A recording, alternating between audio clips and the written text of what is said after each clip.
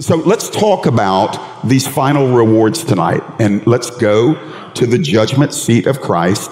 And normally, if you come normally, you know I just open up with reading a passage of scripture, but we're going to walk our way through three passages of scripture tonight. And I want you to be encouraged and I want you to be motivated.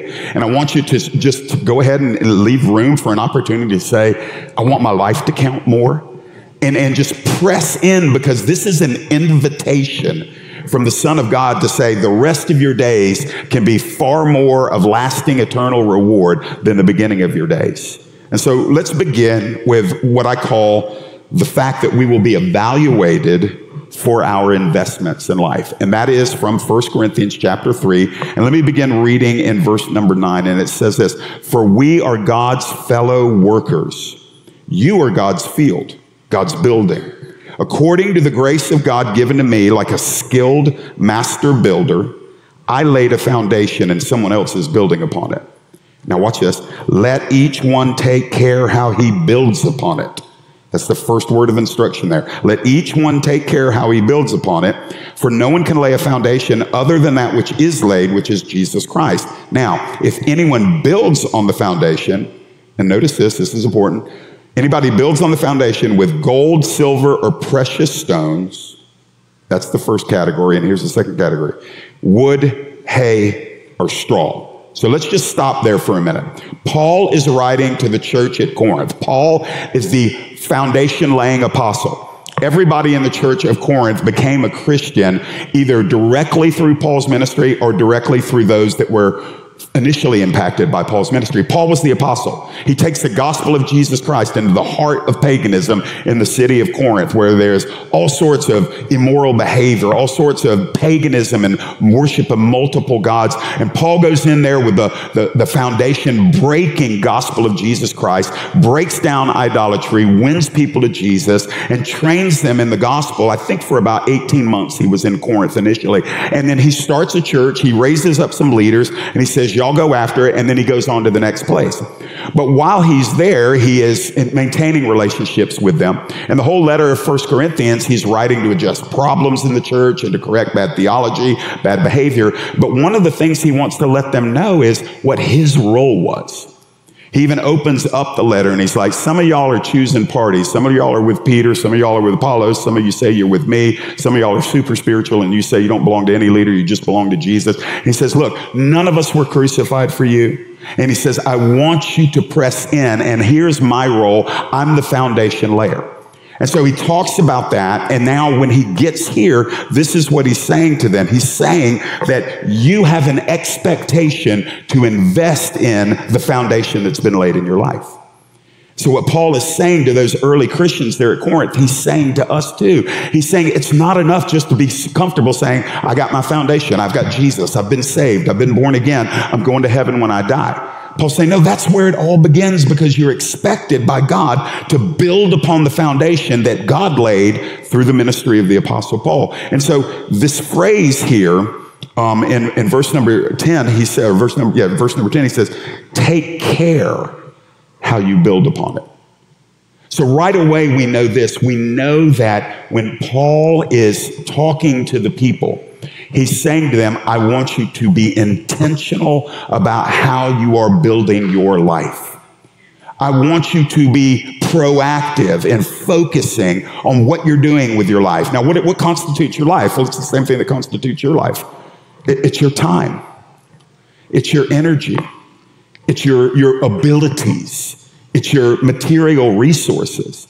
It's your relationships. It's your opportunities.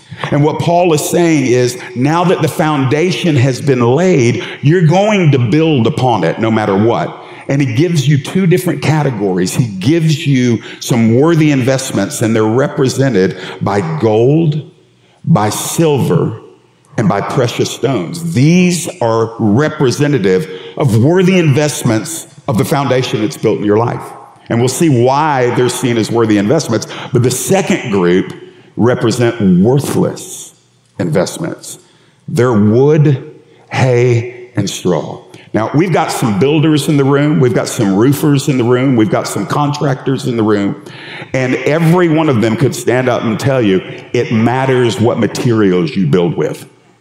Now, anything can look pretty. You can use some pretty inferior materials and build what they call a facade. It looks good, but when the elements start hitting it, when something happens that is out of the norm, wind, fire, rain, any of that, or just normal occupancy, the materials will reveal what kind of quality they had. And Paul is saying it's the same way with the Christian life.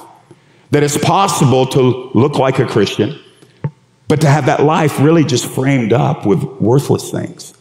And it's also possible to look like a Christian and actually be a deep, robust, steady, strong, valuable, valuable to the kingdom Christian. So let's go a little bit further because verse number 13 explains to us that the investments, the how we build in this Christian life, they're going to be tested. We're actually going to go through a final exam. And in that final exam that Jesus gives us at the end of the age, I don't know exactly how it works, but there will be an instantaneous revelation, and we will all know to what degree our life mattered for the glory of God. It's kind of, kind of intense. This is the way it says it in verse 13. Each one's work, that's each individual Christian, each one's work will become manifest for the day. That's the day of the Lord. That's the second coming. That's where we stand before the Lord. The day will disclose it because it'll be revealed by fire.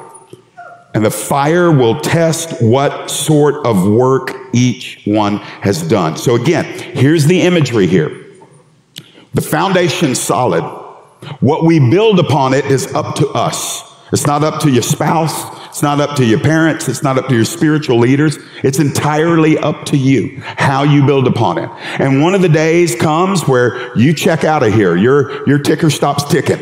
It's time to go. Or maybe the Lord Himself comes back. But at that point, your building opportunities are over. And now, and all the builders that are in the room in the natural, they know what happens before there can be full and final occupancy. There has to be an inspection. And so the inspection happens, and Jesus is the one who's inspecting it. And the Bible says that he inspects it, and the, the element there is by fire.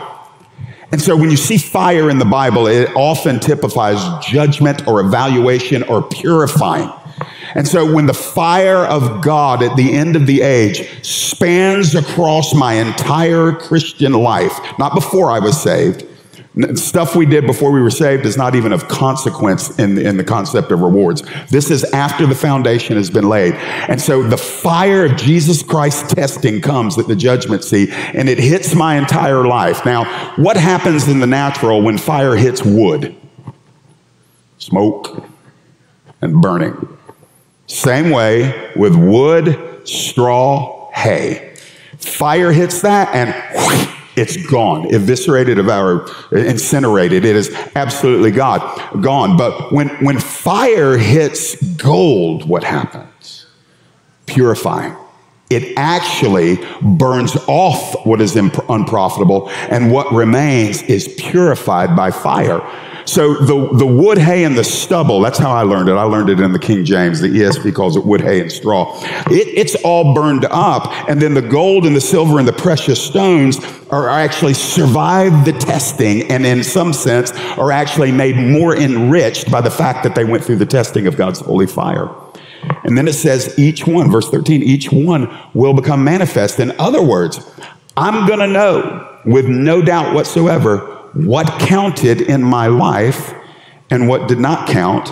And that is going to have an eternal impact on me in the millennium and the kingdom. Now, that's a different message. But listen, one of the things I want you to understand is how you are living your 100 years on earth. People live to 100 now. And how you're living to a, your 100 years, so let's just say you're 60 years as a believer in Jesus Christ. How you live that out actually determines the capacity in which you will exist and function in the eternal state, especially the millennium. Jesus talked about the rewards. Remember the parable of the 10 minas, the rewards, the servants, and they were each given a certain amount by their master to take care of while he was gone on a long journey. And when, when they came back, he evaluated, what did you do with what I gave you? And one servant doubled what he gave. And he said to that servant, you have done amazingly well. I'm going to give you a rule over, I think, 10 cities. And the other one didn't quite double it, but he still invested in it. He, he used it wisely. He says, All right, you did a good job. I'm going to give you five cities. And then one servant said, I didn't know about you, so I took what you gave me. I just buried it in the sand. It produced nothing, but here's, here's back to you what I gave you. And, and the Lord, the master in that parable, gave him a harsh rebuke. And I don't want to stretch the parable, but that, that parable was given for a reason. And many scholars believe that that could be an allusion to how, because the Bible says that we are going to do what with Jesus in the millennium? We are going to rule and reign. Have you ever thought, who are we ruling and who are we reigning over? You see, there's a touch, and by the way, this is another message too, because we're going to talk about the millennial kingdom. There, there's a reality that people are going to be born in the millennial kingdom that will not necessarily come to Jesus because they're going to actually, at some point, rebel against him for the final battle against Jesus when Satan is released out of the pit. So Satan's got to have somebody to work with, and it's going to be these people who were born during the millennium who don't come to faith. It's a thousand years. A thousand years. Some people, most people will come to faith, some won't. And we're going to rule and reign as, as co-regents with Jesus. And guys, listen, your capacity to rule and reign is being determined by how you're living right now. That's why Jesus could say, Oh, y'all don't understand. The last are going to be first. Um, Amy and I joke all the time. We, we have a great Christian friend she comes from a third world country. She's one of the sweetest. She's been here a few times, and one of the sweetest women we know in the kingdom. She's got the biggest servant's heart of anybody I've ever met. Uh, she doesn't have a lot materially, but she will give you everything she's got. She just she she just kind of seeps Jesus out of her pores, and she just shows almost at times embarrassing kindness to our family just because she operates in love all the time. And Amy and I joke, and we're like, we're going to be cleaning her mansion in the kingdom. We we will be, we, and and it's kind of a joke, but it's kind of not a joke because she, uh, I'm thinking to myself, nobody notices her in the day to day. But I watch her life and people that know her watch her life and you can't, you can't mistake the mark of God on her. And so I'm thinking to myself, what am I doing with what he's given me? What am I doing with my time? It's not guilt. It's, it's like motivating. What am I doing with my money? What am I doing with my abilities? What am I doing with my relationships and my opportunities? Because they matter beyond the moment. And so when we're looking at this, we know, oh man, my entire life is going to be evaluated at the end of the age. And look, verses 14 and 15 tell us there's actually a return on our investment. As we're investing down here, there's going to be a, a, a return. This is what Paul taught. If the work that anyone has built on the foundation survives, survives the fire, he will receive a reward. If anyone's work is burned up, he will suffer loss, though he himself will be saved, but only as through fire. So let's just pause here for a minute. Here's a promise in the Word of God that what we do for the glory of God, no matter if anybody down here notices, no matter if there's an immediate impact, no matter whether or not there is um, obvious fruit or not, this is what we need to remember. God watches, not with like, oh, just don't step out of line or I'm going to get you. No, God watches with a father's heart, and He loves it. When we do secret, anonymous works, He loves that because He gets to reward us openly for what we do secretly. But He doesn't mind the public works. Not all works can be done in hiddenness, but when we are motivated for His glory, when, when our desire is to do something in love that enriches the body of Christ or helps unbelievers know Christ, when we represent in the home, when we are, are in the marketplace, when we're in the schools, when we do those, remember the old bumper sticker, random acts of kindness, when we, when we do those things that are intentional to bless, God looks at that and he makes a promise. I will reward you. And so it, it, it helps to shift our motivations because I'm going to tell you, we're told in the Bible not to get weary in well doing. You know why we often get weary in well doing? Because we don't find it, it's appreciated by people.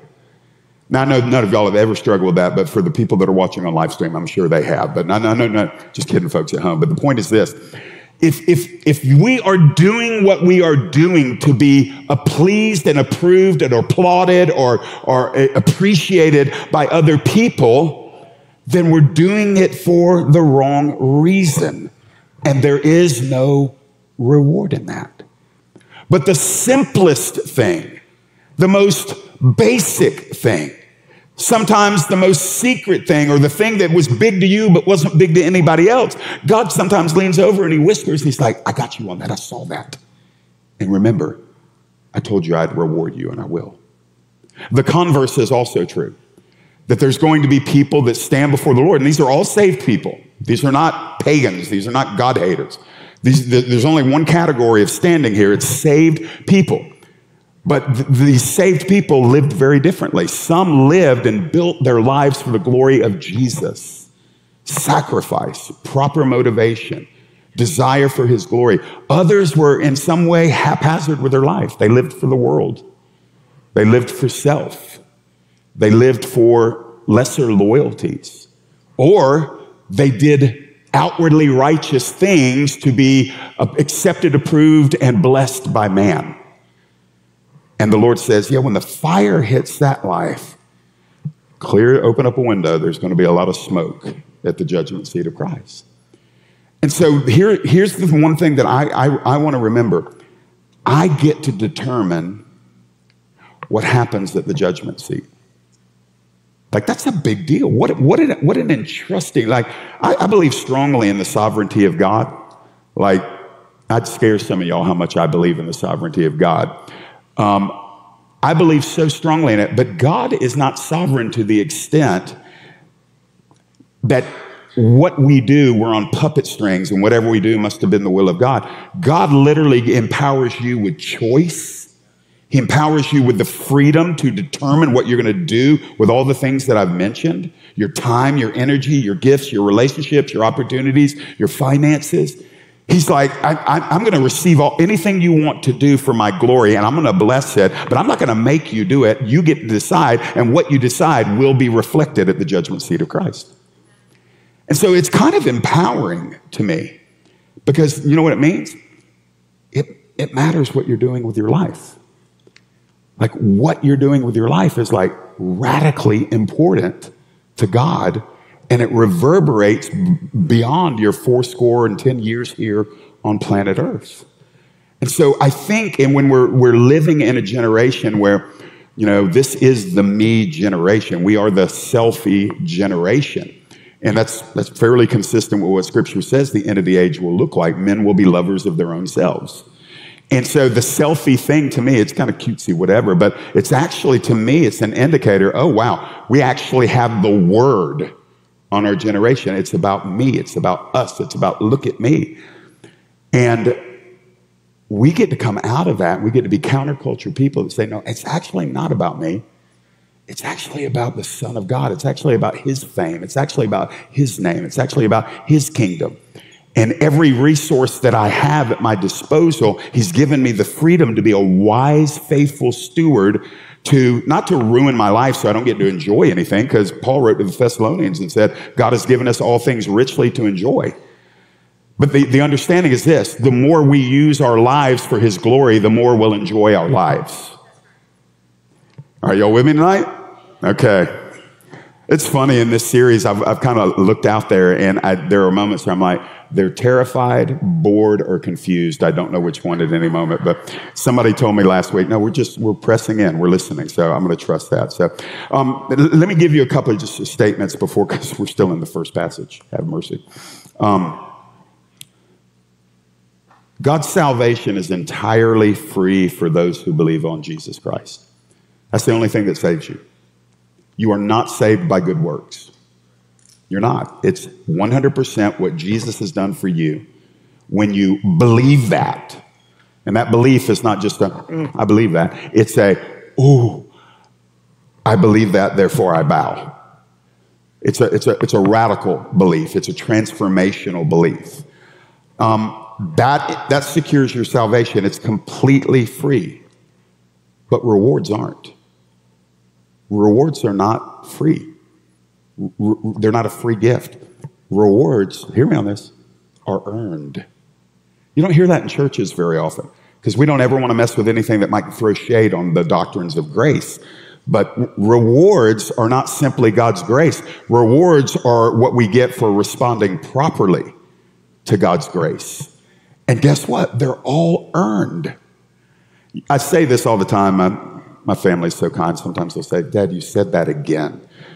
They've been listening to my sermons. Alicia's been listening to it for 22 years, Amy 25 years, and Landon for 17, so they've heard all my stuff. But um, I'm going to say it again.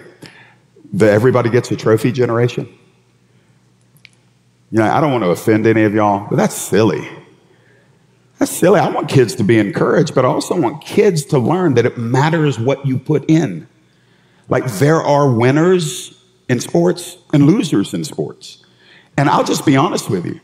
Um, some of us are wired by God. We want to win. My coach used to tell me it's not whether you win or lose, it's. I'm like, I never believed that. I was third grade. I was like, that's a lie. That's a straight up lie. It's like, why do you always play your best players and let me ride the bench? You know, if it's just how you play. So my point is this, the kingdom is, is not whether you win or lose. If, if Jesus said, I want your life to count so I can reward it, it matters that we win and the choice is entirely ours. And so, listen, I don't, I don't want to mess with your understanding of salvation, but we're not talking about salvation. But eh, for the glory of God, go earn some rewards. Like, don't, don't be, don't, don't fail and say, well, I'm not motivated by that. Well, in some form or fashion, we are allowed to be motivated by the fact that our lives can count and gain reward because even in the eternal state, the rewards we're going to know. We're going to know that any reward we get was because of what Jesus did. But it's just a divine aspect that he offers us to enjoy our salvation beyond just staying down here. Well, I'm glad I go to heaven. All right, let me go a little bit further. So, um, this issue of suffering loss, I, I do want to just sit there for a second. Because if it's in the Bible, I'm, I'm, like, and it is in the Bible, if anyone's work is burned up, he will suffer loss. Loss of what? Loss of reward. Loss of potential reward. But listen, it actually seems to be indicated in Scripture that you can earn rewards and later forfeit them. This is intense. Second John verse 8. This will not be in your notes, so you can write it down. Second John only has one chapter. And in verse number 8, listen to what John said. Watch yourselves so that you may not lose what we have worked for, but may win a full reward. And then you've got Revelation 3:11. He also Jesus also said something similar in Revelation 2, but in Revelation 3:11 Jesus says this, I'm coming soon. Hold fast to what you have so that nobody may take your crown. And so you've got this, this understanding that, okay, re- rewards can be earned, and we're never told, well, what, what do I have to do to forfeit one of my rewards? We're not told. But we are told that you can, in some way, respond to life or to other people or to even false teaching, because the context in Second John is in the context of false prophets and false teaching, that you can start out well and then veer off and you lose all of your rewards. So enduring unto the end is not just a phrase, it actually has a practical application. So, guys, I, think about this. I'm like, you know, I, I don't know. I, I don't know if there have been seasons where I've gained rewards and then had some kind of faith lapse in some area of my life and lost those. rewards. I don't know, but I know it's in the Bible for the reason. There's a reason for that being in there. Jesus said it, John warned about it, and I'm thinking, I don't want, I mean, we're having to be exhorted here. Don't let anybody steal your reward. Don't let anybody undermine what God's doing in your life. And so it seems to have a relational aspect to it that we've got to stay fixated on the Lord. We've got to stay fixated on the big picture. We've got to stay fixated on the throne and the coming of the Son of God and recognize that we're not done yet. We may be saved, but we're not done yet. And so I don't want to start well. It's not how a person starts, it's how they finish that actually counts. Our testimony. Listen, I was heartbroken. Um, I don't even want to mention his name, but a very, very prominent apologist. Um, I think it was last year or the year before, who I used to follow his ministry. He's the most brilliant man I've ever heard speak in my life. Just brilliant intellectually brilliant, spiritually mild temperament and everything. And I thought, this is a hero of the faith. And when, when he died, all of this horrible stuff came out about his life. And I wasn't just wondering if he lost his reward, I was wondering, was he ever even saved? And if he was saved, and I pray that he was, he definitely lost his reward. Why? Because it matters how you live. It matters how we live today. It matters what comes out of our mouth. It matters how we treat people. It matters how we interact with one another. It actually all matters. And the beauty of it is this we don't have to walk on eggshells in fear. Jesus says, just live for my glory, intentionally live for my glory, and I will reward you. And that's, I don't know that there's a better thing. I, I don't know, man. Maybe, sorry, I'm externally processing a little bit. I'm like, is it, do you just want to go to heaven? Is that just like, I just want to go to heaven. Is, but what if there's more? Like, there is more. And so, if he has more for us, why would I ever think, believe, or live in a way that just says, don't go for the more? So, I want to experience everything that he has for us. So, point number two. Y'all are awesome midweek service. Y'all put up with lots of words. Um, here's how we are motivated for our investments. And some of this will be overlapping with what I just shared, but 2 Corinthians chapter 5, verses 9 and 10. Paul gives us this happy, there's two components to our motivation. Here's the happy, happy component. Whether we are at home or away, we make it our aim to please him. What he's talking about is whether we are here living life or we are in glory, our desire, what drives our life, our motivational force is this we want to bring pleasure to the Lord. Like that is what being a Christian is. Being a Christian, church is great. I love coming to church. You'll see me here all the time if you show up. I love it. But that's not the sum total of being a Christian. Um, I, I like serving. I like preaching. I even like singing. I'm not that great at it, but I enjoy doing it. I like fellowshipping. I like praying. I, I, I, like all of the activities. The activities are great. I wasted the first 24 years of my life doing bad stuff. And so when I found out there's healthy, holy, wonderful things to do, I like all the activity. I like the people of God. I mean, I like, I like Christians. We frustrate each other sometimes, but I like Christians. But that's not the sum total of the Christian life. The, what the motivating force is not more church, more sermons, more Bible study, more you know works and more giving and more. That's not really the motivation. Those are streams that come from the motivation. What is the core motivation of the christian life? I want my life to bring pleasure to the one that loves me most. Like that's it. That's what it means to be in love with jesus.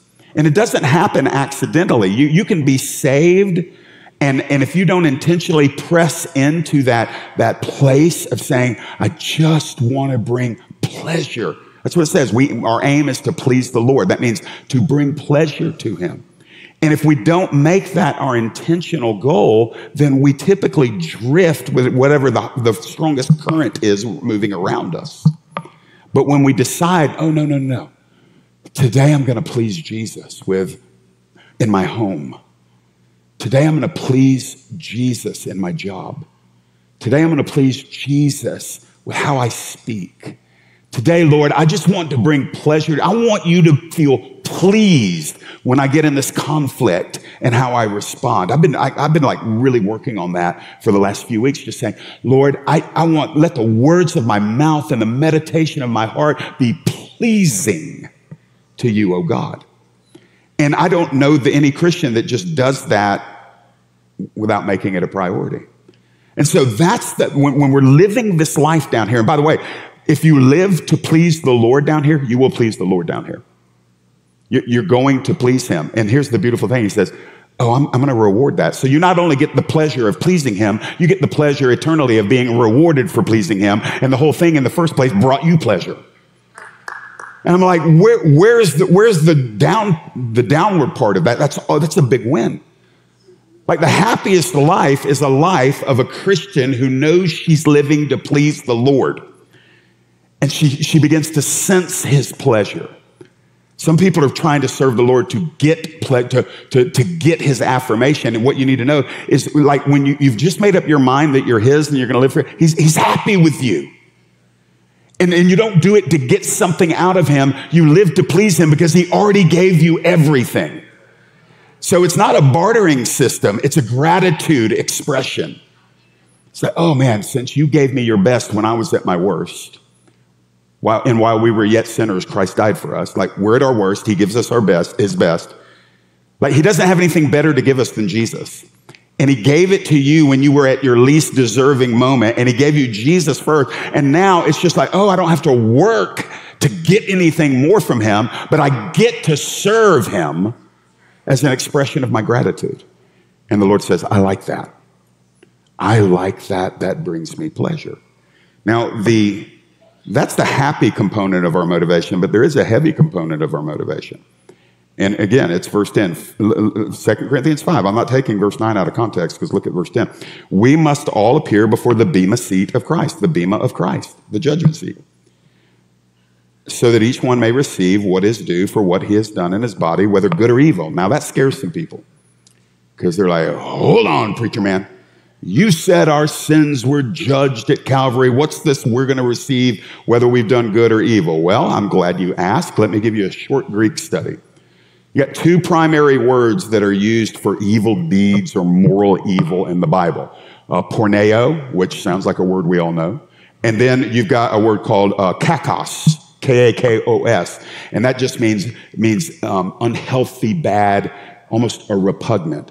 That's not the word that Paul uses here in the Greek language. The Holy Spirit inspired Paul to use the word phaulos, which is a word that means worthless or useless. It's not morally good or evil. It just means it didn't have any value. So let's go back and read that. We must all receive what is due for what we've done in the body, whether it is good or useless. And so it's not an issue of of sins being judged, it's an issue, again, what we've already talked about. The evaluating fire of God hits the, the, the entirety of your life at the judgment seat. And what survives the fire, the good survives the fire. The worthless wood, hay, stubble, burnt up. And so again, we're just told here, it's kind of heavy, but guys, listen, I mean, sometimes we, we need to be reminded, hey, we're accountable like your life's supposed to count. And it should count because he's worthy of our lives counting. So, what constitutes whether something is good or evil? I'm going to give you four things. You can write them down if you want to, or just listen. They're not in your notes on the screen, but um, when the fire hits my life and the fire hits your life at the judgment seat of Christ, um, part of what's going to be evaluated will be your motivation. And I've already covered that a little bit. Why did you do the good things you did? Was it intentionally for His glory or was it for something else? Only you can decide. By the way, you're, you're, not, you're not qualified to judge anybody else's motivation. You know, we think we're pretty good at judging somebody else's motivation. You're actually not qualified. You're not, you're not omniscient. You, you, you've never seen a motivation, not in anybody else. You can, you can judge yours. And you might be suspicious of somebody else's motivation. One of the things I've disciplined myself uh, over the years to do is even when I'm I kind of wondering, like, I think maybe they might be doing that for something other than glory of Lord. I just felt that gentle hand, hand slap, like the Lord saying, hands off, you're not qualified to touch that. I'm like, yes, sir, yes, sir, I will not judge anybody's motivation, but I will judge my own. The second thing is the action. What did you actually do? So you got the motivation will be evaluated and the actual action.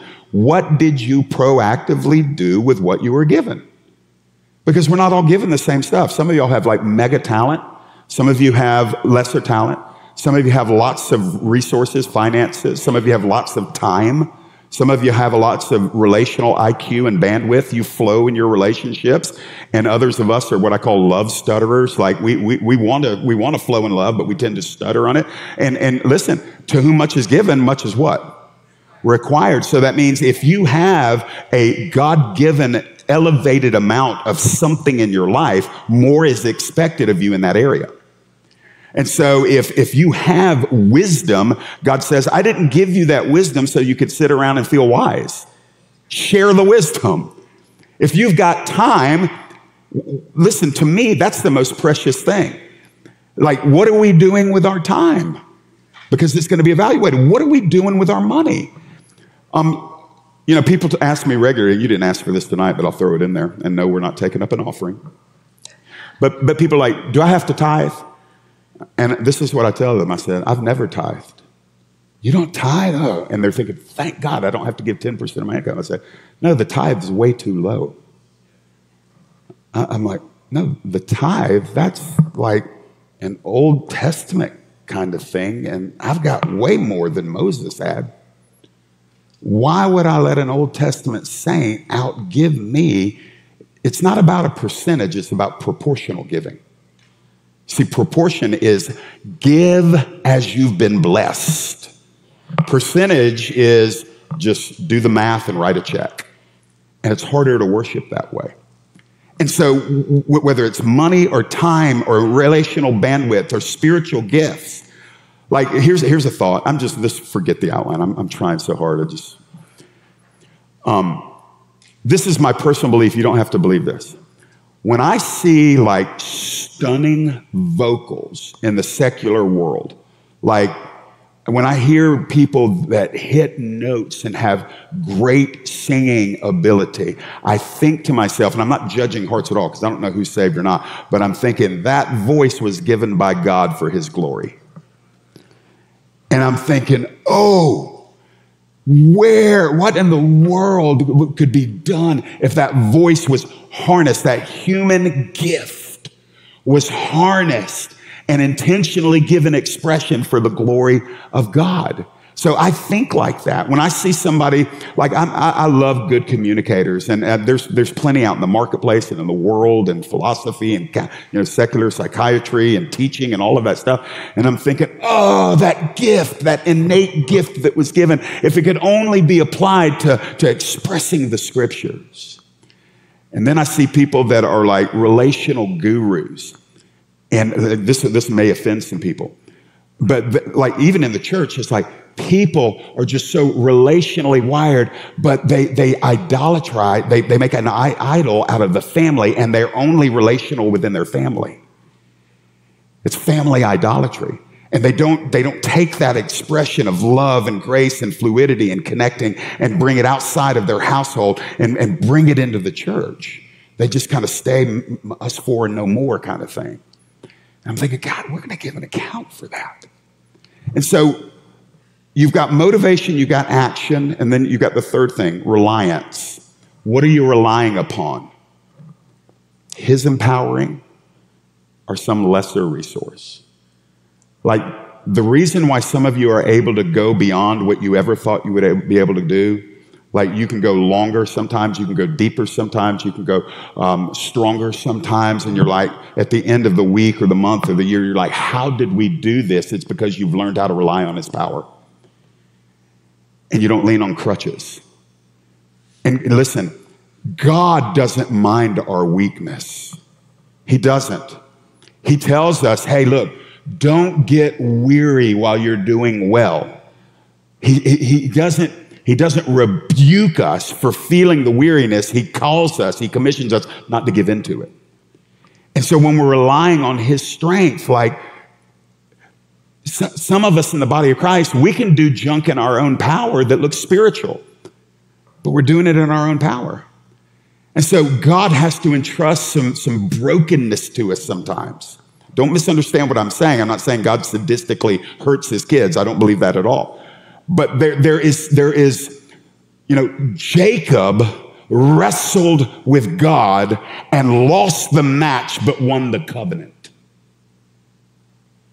And he walked with a limp the rest of his life. And every step he took, he said, I've seen the face of God. I've seen the face of God. I've seen the face of God.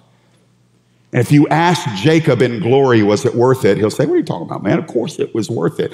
Did, did the wrestling match leave him with a limp? It did, but it also changed his name from the deceiver to the prince. And so when we think on these things, it's like, okay, yeah, we've got weaknesses, but does the weakness cause you to despair or does the weakness cause you to depend? If your weakness causes you to depend, you're, you're, you're growing. And God's going to continue to bless and use you. If your weakness causes you to despair, it means because you're thinking you're supposed to do all of this stuff on your own. And that leads to burnout. And of course, that's the last part to endure. So, motivation, action, what you're relying upon as you're living and building on the foundation, and then enduring unto the end. So, just a quick word um, you're not done yet. You're just not done yet. So, how do you know? Because you're alive. If you have a brainwave and a pulse in here, you are not done. He's not done with you yet. Like you can retire from your job, but there is no kingdom retirement. There isn't, because if he was done using you, he would he would usher you into glory. And so the fact that we're in the room tonight lets me know that there's probably, I don't, know, about 7,500 people in here, maybe, maybe 50, 100. I don't know. I'm terrible at that. But however many there are in here, I, I, all I know is right now is there's every person represents an ongoing purpose of God in this generation. So you can be tired and maybe you're a little discouraged. Some of you might be. Some of you could be confused. Some of you may not know what your purpose is yet, but, but will you press in and just believe that He's got something for you? So let me squeeze in. I got nine minutes. Can, if I talk fast, y'all can stay awake. So here we go. The last thing Romans 14. By the way, Romans 14 is all about relationships. It's about relational conflict. It's about judging others. It's about feeling superior. It's about choosing humility. Romans 14 is huge. And, and right in the middle of Romans 14, Paul starts talking about the judgment seat of Christ. So I'm, I, my attention is grabbed because what I'm, I'm seeing is the, the evaluation of my life at the judgment seat of Christ is not detached from my human relationships. So now that I have your attention, look at verse number 10 in Romans 14. It'll be up on the screen. Why do you pass judgment on your brother? Or you, why do you despise your brother? For we will all stand before the judgment seat of Christ. I love this. The fact that we have an appointment of evaluation before the Lord, Paul says, if you'll remember that, you won't waste your time judging other people. That's exactly what he's teaching. He's saying, hey, noticed you over there judging her. And ma'am, I saw you judging him. Did you forget? You're going to give an account for one thing only at the judgment seat. And you're going to give an account for you, and you're going to give an account for you. And I don't think y'all need to waste time judging one another. Now, that doesn't mean we're mute and silent over things that God says are unholy and sinful. That's not what this is talking about. This is talking about when Christians joust, when they're debating and fighting over things that don't have eternal value and ultimately they're indicting one another's heart. And Paul says, the people that do that have lost connection with the fact that they're going to give an account for every idle word, and they're going to give an account for every wasted hour, and they're going to give an account for whether or not they loved like Jesus loves. You know what's interesting about Jesus? Um, everywhere he went, he saw what was wrong with every person he encountered. See how rarely he said anything about it. Now, who was he the toughest on? That's, and what were they known for doing? Judging people. So Jesus' harshest indictments were not for the immoral. They weren't for the, the, the terribly, you know, sexually broken or the covetous or the thief. Matter of fact, he said, Y'all want to join my, my, my tribe? He's like, repent, believe, I will heal you, I will, I will minister to your woundedness. Come on out of the, the judgment of religion and become one of my disciples. He welcomed those people. I mean, literally, I'm sitting here thinking, I can't remember a single instance in Scripture where Jesus got in the face of an immoral person. But I can find many places in Scripture where he got in the face of judgmental religious people. I mean, when was the last time you called somebody a snake or a viper? Like Jesus did that. But what's amazing to me is everywhere he went, I mean, if he's walking in here right now, he sees everything that's wrong with everybody. So if the one who had the greatest clarity on what was messed up in other people chose not to go around with a scorecard addressing everybody's problems, why do we do that? How did that become our flavor of Christianity? Maybe not church at Winder, but just in general. I think there's something to be learned there because ultimately, if we remember that we're going to give an account, uh, let's just this may not even sound spiritual. I am overly concerned about that appointment that I'm going to have with Jesus that I don't have the bandwidth nor the desire to walk around figuring out what's wrong with you. I don't. And it's not that we don't see what's wrong with each other sometimes, but good night. All I've got to do is spend 30 minutes in a self inventory, and I guarantee you the Lord can show me a dozen things that aren't yet where they need to be in my life. And the more I'm aware of that, the more I can look at you and love you in your incompleteness and brokenness and not judge you for it, but help you where I'm welcome to. But nobody here is the sheriff of Christian Town, patrolling the streets, making sure that Pastor Kent's doing what Pastor Kent ought to do over here. That's just not Christianity. And so in verse 11, Romans 14, 11, for it is written, As I live, says the Lord, every knee shall bow to me, and every tongue shall confess to God. So again, it's the lordship principle. Like, if you get a grasp of that, it's incredibly motivating. Like, he's a very kind master, but he's not playing around. He's like, Yeah, I saved you for my glory. Cooperate with that. It'll bless you.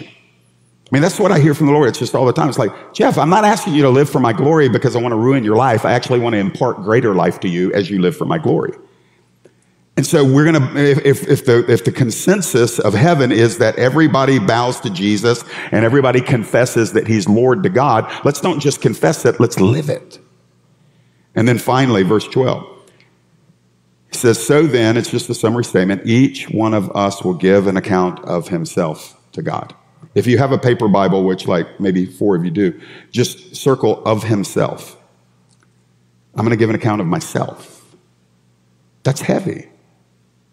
And so in Romans 14, again, he's saying, y'all don't have time to be like jousting with each other. You need to remember you're only governor. This will free some of y'all up.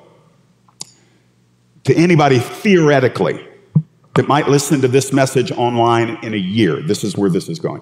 If any of those people theoretically, nobody in here, but theoretically are a control freak, this frees them up. Those people, not y'all. These people get freed up from trying to control people by recognize, oh, I can let you be wrong because I'm never going to give an account for you. I tell this in marriage counseling all the time. I don't do marriage counseling more, but when I did marriage counseling, that every, every single couple is the same when they're in a conflict. They're, they're fully aware of what the other person's doing wrong and, and completely can justify why, what, what they're doing is not jacked up, but their spouse is jacked up. And so I, I tell, tell them all the time, I was like, ma'am, uh, the fruit of the Spirit is not nagging. No husband was ever nagged into holiness or sanctification. It just never happened. It's like, oh for one million. It just no, no track record. I said, and you're not actually going to give an answer for him. You're actually, but you are going to give an answer for how you responded to what's lacking in him. And, and I've seen I've seen wives get liberated. I'm not picking on the women there, but that's just typically what it is because men can be late, spiritually lazy at times and apathetic, and the wife's trying to run for Jesus, but she's chained to the guy who don't want to move, and, and she's like, I, I can just point out the other 25 things that frustrate me about him, I'm sure he'll respond favorably. And all it does is drag him down. I'm just like, why don't you let him be wrong and you work on you? And I have flipped that. And listen, people get set free. Some of you, I'm just going to end with this. Some of you,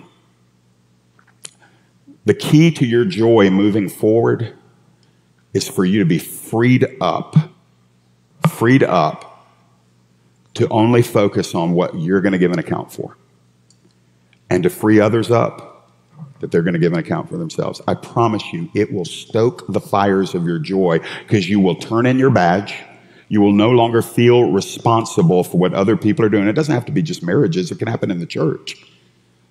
Like, you know, times of conflict, I'm only going to give an answer for what I did in times of conflict in the church. And I will give an answer. That's enough to kind of keep me sobered. And, uh, and if I think somebody else is wrong, I can't fix that. Same way with you guys. And so, thinking about the judgment seat of Christ as you get up and you go to work tomorrow, you go take care of the kids tomorrow, the grandkids, or whatever it is that you've got to do, be aware of your motivation. When it comes to the action, what you actually do, do the right thing. Do it in His power, because some of you have heavy loads. You've got heavy loads. You carry it on the inside because of life's difficulties, circumstantial difficulties. I'm not making light of that. But I'm telling you, you're not supposed to be able to hold everything together. Be free from that. And I know that's difficult because some people are like, if I, if, if I don't hold it together, man, there's going to be consequences. Sometimes you just have to let the consequences come. Because eventually, if you're not supposed to be holding everything together, you will run out of strength and the consequences come later. And then the, the, the, final thing is just endurance. Is he worth getting up and doing it all over again tomorrow? It's like an actual question. I'm, I'm panicking. I'm like, I need to do an altar call and get some folks saved here. The, yeah, he's, he's actually worth getting up and doing it tomorrow. And here's the good thing you can. God's not actually hard to please. He really isn't. God, we're harder to please than God. God's already shed his pleasure and his love on us. And all he's doing is saying, Will you let me help you respond? Can I, can I grow you? Can I stretch you? Can I get in there with you? And you're like, Lord, I, I can't do this on my own. He's like, Yeah, you were actually never supposed to. So, how about you and I do this together? And when it's all over, my daughter, when it's all over, my son, I'm going to reward everything you did. I will never forget a single thing you did. And to me, man, that's like, okay, bring on Thursday. I am ready to rock and roll. Amen.